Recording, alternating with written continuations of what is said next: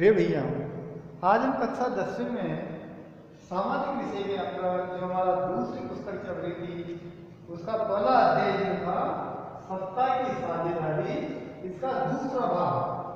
सत्ता की साझेदारी का दूसरा भाग आज हम समझेंगे, पढ़ेंगे, उस पर चर्चा करेंगे। और हमने पढ़ा था कि जहाँ जिन देशों में सत्ता में भागीदारी जनता की नहीं होती है केवल एक व्यक्ति के हाथ में सत्ता होती है, पूरे देश में केवल एक व्यक्ति का शासन चलता है। उन देशों में किस प्रकार संघर्ष होते हैं? क्यों वहाँ पर जातीय हिंसाएँ होती है? क्यों वहाँ पर अत्याचार होते हैं? इन सबको ध्यान में रखते हुए आज के जो हमारे विषय रहेंगे पहला विषय रहेगा, सत्ता की साझेदारी क्यों ज़रूरी है? ऐसी क्या आवश्यकता पड़ गई कि सत्ता में साझेदारी होनी चाहिए दूसरा बिंदु रहेगा आज हमारा सत्ता की साझेदारी के रूप में जब सत्ता में साझेदारी मिल जाती है तो क्या होता है इन दोनों ही बिंदुओं को आज हम विस्तार से पढ़ेंगे समझेंगे सत्ता की साझेदारी क्यों ज़रूरी है? हमने पहले उदाहरण पढ़े थे, जैसे सऊदी अरब में शाह का शासन चलता है, परिणाम क्या होता है? कि सारे देश को शाह की अनुमति से, शाह के नियम कायदों से ही चलना पड़ेगा। वहाँ आज तक भी महिलाओं को मताधिकार से वंचित रखा गया है। वहीं नहीं, बहुत सारे मुस्लिम कंट्रियाँ हैं मुस्लिम कंट्रियों में, मुस्लिम धर्म में, मुस्लिमों के अंदर औरतों के अधिकार सुनने रखे गए उनको कोई अधिकार नहीं होता। आपने कई बार टीवी डिबेट्सों में देखा होगा, सुना होगा, पढ़ा होगा कि महिलाएँ संगीत में नहीं जा सकती, महिलाएँ नाच गान नहीं कर सकती, महिलाएँ खुले रूप से कॉलेज या किसी प्रकार की नौकरी महिला खुले बदन यानी कि बिना बुके के नहीं घूम सकती। महिला मताधिकार का प्रयोग नहीं कर सकती। महिला किसी व्यक्ति से संबंध विच्छेद, यानी कि शादी से विच्छेद नहीं कर सकती। कोई भी व्यक्ति उसे तीन बार तलाक तलाक तलाक कहकर और परिवार से वंचित कर दे। इतने सारे संकुचित अधिकार क्यों? क्योंकि वहाँ पर खलीफाओं का शासन होता है। तो आज भी मुस्लिम कंट्रियों में महिलाओं को सुनने अधिकार दिए वहाँ महिलाएँ कुछ भी नहीं कर सकती। तो ऐसी कंडीशन में जब सत्ता पर पूर्ण रूप से एक ही व्यक्ति का अधिकार होता है, सारे नियम कायदा उसकी इच्छा अनुसार वह चलाता है इसको क्या देना है वह तय करता है, किसी से क्या छीनना है वह तय करता है, ऐसी स्थिति में लोगों को न्याय नहीं मिल पाता, लोगों में विभिन्न प्रकार के भ्रांतियाँ, जातीय संघर्ष वर्ग संघर्ष यानी कि अंत में ग्रह युद्ध की संभावना बढ़ जाती है। और जब ग्रह युद्ध होता है तो अनावश्यक अनेक लोगों को बलिदान होना पड़ता है। बिना काम किए, बिना अपराध किए, बिना कुछ किए, कई लोगों को अपनी जान से हाथ धोना क्योंकि आकाश से बम गिराए जा रहे हैं, नीचे गोलियाँ चल रही है, बस्तियाँ जलाई जा रही है, लोगों से अनेक प्रकार की यातनाएँ दी जा रही हैं और इसके कारण लोगों का विनाश होता है। तो इन सारी संभावनाओं से बचने के लिए, सत्ता में प्रत्येक व्यक्ति की सहभागिता बढ़ाने के लिए, प्रत्येक व्यक्ति का विस्तार करने के लिए किसी भी फैसले पर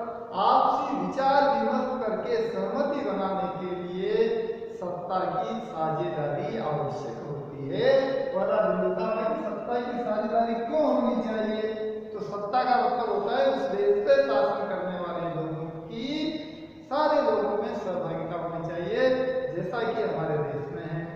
भारत के प्रत्येक कोने से सांसद, जनता के प्रतिनिधि चुन चुन कर आते हैं। सारे एक साथ संसद में बैठते हैं और सारे प्रत्येक सरकार का चर्चा करते हैं और उसके अनुसार अंतिम निर्णय जनता के लिए तय किया जाता है। यहाँ की सरकार द्वारा जो भी निर्णय लिए जाते हैं, जो भी काम किए जाते हैं, वह सारे जनता के लिए और जनता के हित के लिए होते हैं। क्यों होते हैं? क्योंकि पूरे प्रतिनिधि अपने अपने क्षेत्र की वस्तु स्थिति को जानते हैं और वो अपने अपने क्षेत्र की वस्तु स्थिति के अनुसार संसद में अपने वक्तव्य देते हैं, अपने भाषण देते हैं, अपने विचार रखते हैं और सरकार को उनके विचारों को सुनकर और उसकी उन विचारों के आधार पर जनता की भलाई के लिए काम करना होता है। तो किसी भी देश में आम जनता को सारी सुख सुविधाएँ सुलभ हो, उनको सारी मूलभूत आवश्यकताओं की पूर्ति हो, इन सब बातों के लिए सत्ता में हिस्सेदारी होनी ही चाहिए।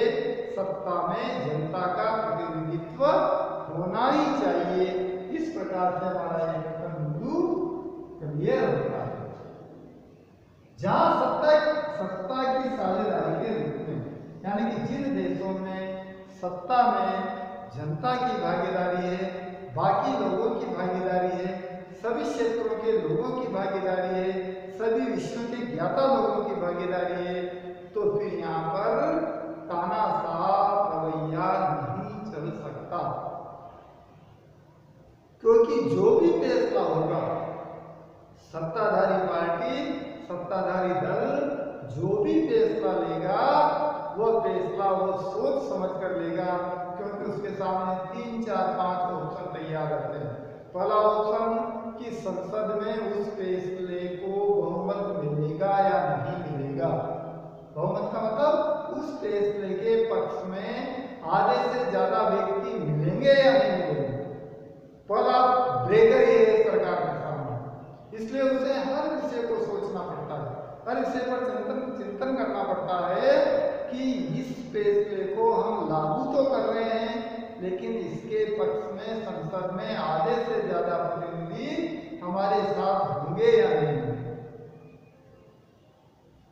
इस आधार पर वह फैसला तय करते हैं। दूसरा ब्रेकर जो, बड़ा ब्रेकर है उनके सामने, प्रत्येक सरकार को सोचना पड़ता है कि यदि हमारे फैसले से जनता रुष्ट हो गई तो अगला टर्म हमें नहीं मिलेगा। अगला अवसर हमें किसी भी हालत में नहीं मिलेगा इसलिए हर सत्ताधारी ये सोचते हैं कि यदि हमें दूसरा अवसर चाहिए तो वही काम करने होंगे जो जनता की भलाई के लिए हैं, राष्ट्र की भलाई के लिए हैं, राष्ट्र के लिए हैं। तो जहाँ जहाँ भी जनता की भागीदारी होती है, प्रतिनिधियों की भागीदारी होती है, सत्ता का बंटवारा होता है वहाँ इन सारी बातों को सोचना पड़ता है क्यों आज से हम दस बीस पचास साल पीछे जाएँ तो उस समय देश में शिक्षा का इतना बड़ा महत्व नहीं था लोग समझते नहीं थे कि मेरे अधिकार क्या क्या है मेरे दायित्व क्या क्या है और ज़्यादातर समय एक ही दल का छत्र छाया में पूरा देश चलता रहता था। चाहे वह दिल्ली में सिक्कों का नरसिंगार करवाए, चाहे वह कश्मीर से पंडितों को मारकर भगवाए, कोई फ़र्क नहीं पड़ता, फिर भी शासन उन्हीं के हाथ में। किंतु जब जनता जागरूक हुई, जनता पढ़ लिख कर ये जानने लगी कि मेरे अधिकार क्या है, मेरे कर्तव्य क्या है तो जब जानने लग गई तो सत्ता का बंटवारा होने लग गया, सत्ता का परिवर्तन होने लग गया। अब प्रत्येक दल, प्रत्येक नेता, प्रत्येक व्यक्ति डरता है कि यदि मैंने जनता के साथ विश्वासघात किया, जनता के उम्मीदों पर खड़ा नहीं उतरा, जनता के लिए काम नहीं किया, जनता से यदि मैं दूर रहा तो दूसरा अवसर मुझे मिलने वाला नहीं है। इस डर के कारण प्रत्येक जनप्रतिनिधि को, प्रत्येक नेता को, प्रत्येक सत्ताधारी दल के जनता का विश्वास जीतने के लिए, जनता के लिए काम करना ही पड़ता है। तो जहाँ जहाँ भी सत्ता का विकेंद्रीकरण होता है, सत्ता में साझेदारी बढ़ती है, वहाँ वहाँ जनता के विकास, देश के विकास में महत्वपूर्ण काम होते हैं। तो इस प्रकार से आज हमने इस अध्याय का सेकंड और लास्ट पार्ट पूरा किया। इन दो बिंदुओं के माध्यम से कि सत्ता में यदि साझेदारी बढ़ती है हिस्सेदारी बढ़ती है सत्ता का यदि बंटवारा होता है तो उसमें जनता की भलाई होती है, देश का विकास होता है और देश का विकसित देशों के अंदर इसकी श्रेणी में शामिल किया जाता है। इस प्रकार यह अध्याय हमारा समाप्त होता है। जय हिंद, जय भारत।